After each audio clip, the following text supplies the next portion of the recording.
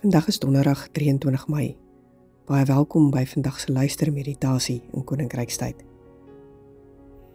Ek wil jou graag nooi om saam met my in hierdie oomblik tot rus te kom voordat ons vandag saam gaan lees uit Jesaja 49. Ek wil jou graag nooi om daar waar jy is om net 'n kers aan te steek en in hierdie oomblik tot rus te kom. Maar 'n paar keer lekker diep asem. En wanneer jy inasem, herinner jouself daaraan dat God se gees in jou teenwoordig is. Wanneer jy uitblaas, gee al die gedagtes en emosies wat voorop in hierdie oomblik by jou is vir die Here. En herhaal dit 'n paar keer.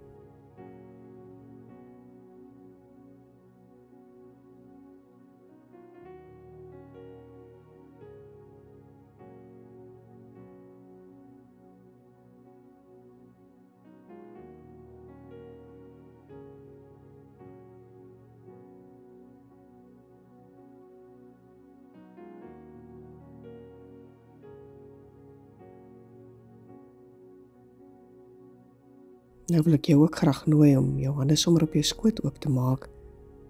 Soos iemand wat gereed is om in hierdie oomblik iets te ontvang.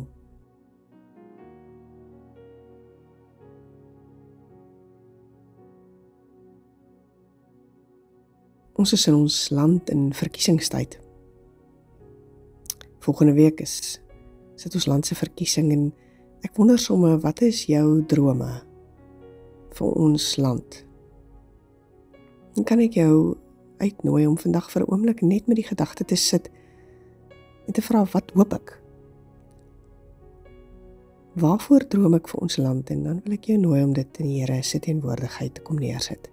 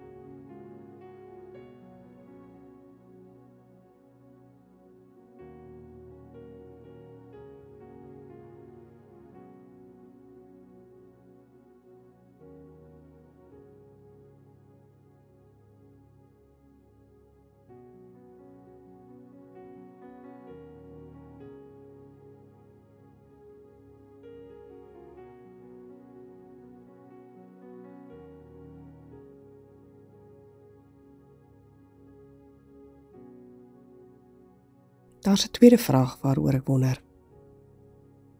Ek wonder wonder wat is God se drome vir ons land? Kan ek jou vir 'n oomblik nooi om so 'n bietjie hieroor te reflekteer? Wat dink jy is God se drome vir Suid-Afrika? Dink vir 'n oomblik hieroor na. Nou.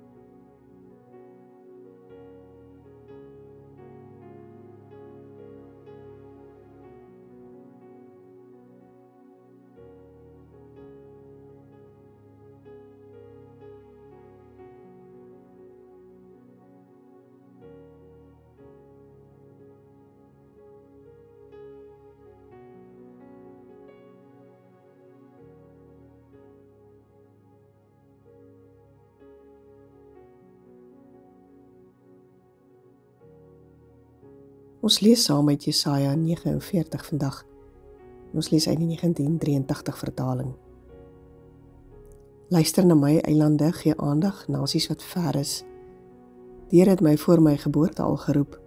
Toe ek nog in my moeder se liggaam was, het hy my op my naam genoem. Hy het my mond soos 'n skerp swaard gemaak, my in die skaduwee van sy hand verberg. Hy het my 'n skerp pyl gemaak en my in sy pylkoker weggesteek. Hy het vir my gesê: "Jy is my dienaar, jy is Israel, deur jou maak ek my mag bekend. Ek het gedink ek het my te vergeefs vermoei. Ek het my heeltemal verniet afgesloof. Maar die Here sal aan my reg laat geskied. My God sal my beloon. En nou maak die Here aankondiging. Hy het my in die moederskoot al sy dienaar gemaak het om Jakob na hom toe terug te bring sodat Israel nie meer verstrooi sal wees nie. Die Here het my 'n belangrike opdrag gegee en my God gee my die krag om dit te doen.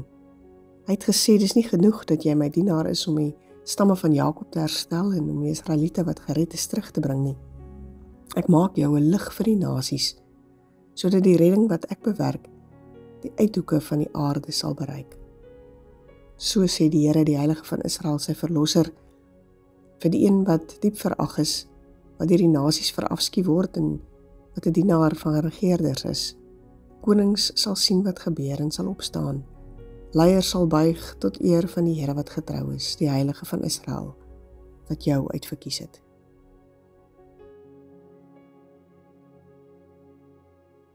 Daar is die bekende aanhaling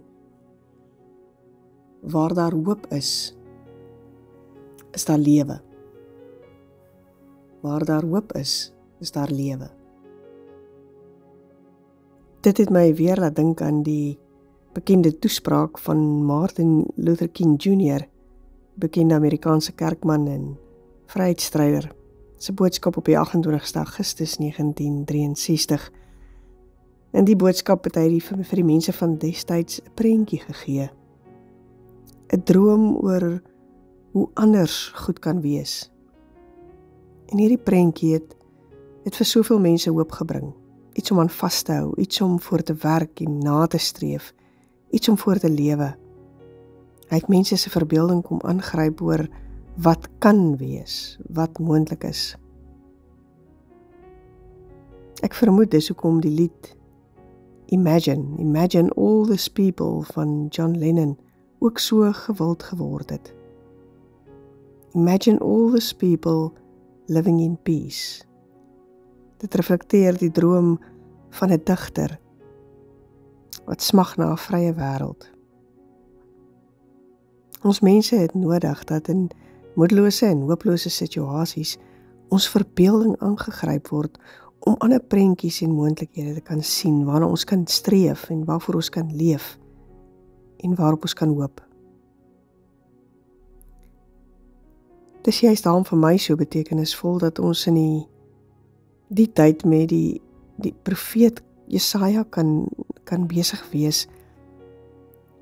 Want wat Jesaja kom doen is om in tye van ballingskap, in tye van moedeloosheid, wat die volk beroof is van alles wat vir hulle bekend is, alles wat hulle sin is, beroof is van hulle volksidentiteit, beroof van hulle godsdienstidentiteit wanneer hulle eintlik as vreemdelinge in 'n vreemde land sit en geen prentjies het van hoop nie. En dan kom God en deur die profeet Jesaja kom gee hy 'n nuwe prentjie, nuwe drome, nuwe moontlikhede van terugkeer en van vrylating, van herstel en van opbou prentjies strek selfs verder as hulle eie gedagtespan en verbeelding. Die prentjie sluit alle nasies in en vriend en vyand. Nuwe prentjies en drome wat hulle wil kom hoop gee. Die vraag is, hoe gaan hierdie nuwe prentjies waar word? Wat gaan God doen om sy drome en sy prentjie 'n werklikheid te maak vir die volk?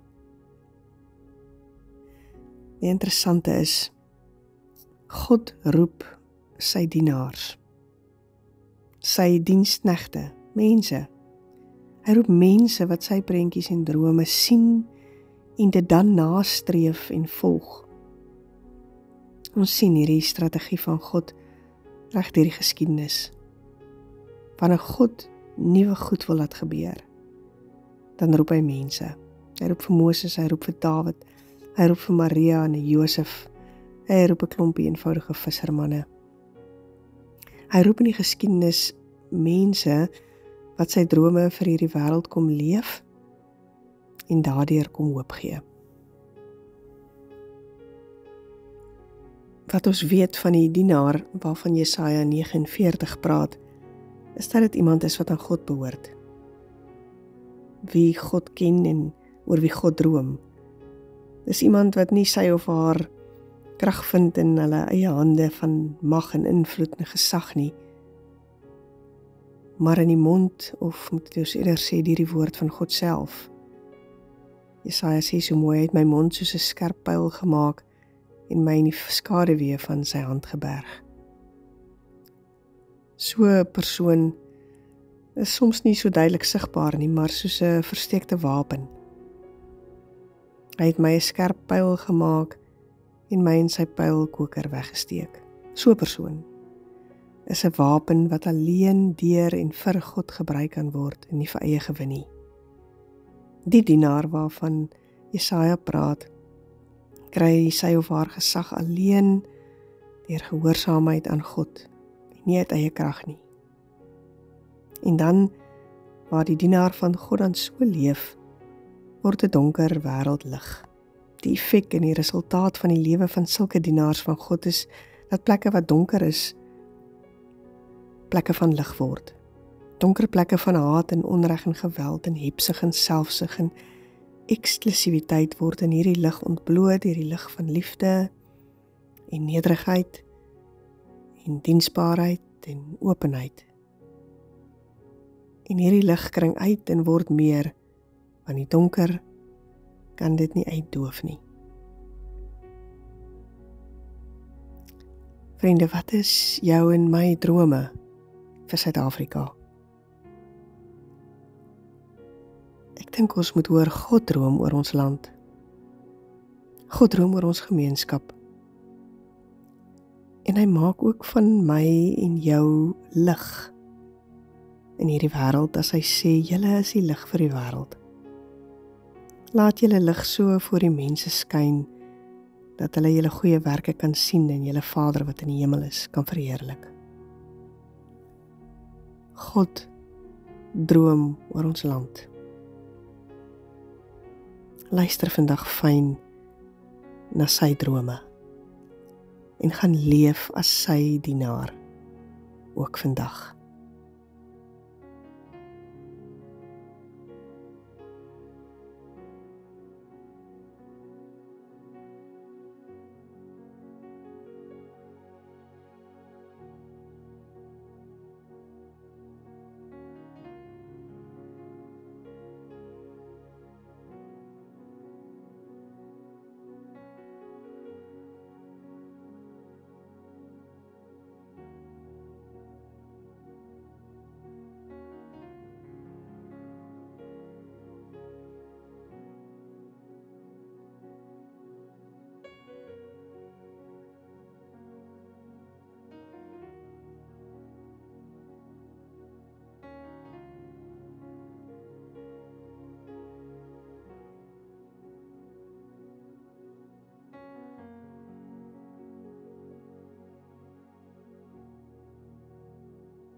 Here maak my 'n instrument van u vrede. Waar daar haat is, laat my liefde saai. Waar daar onreg is, vergifnis. Waar daar twyfel is, geloof. Waar daar wanhoop is, hoop. Waar daar duisternis is, lig. Waar daar droefheid is, vreugde. Amen.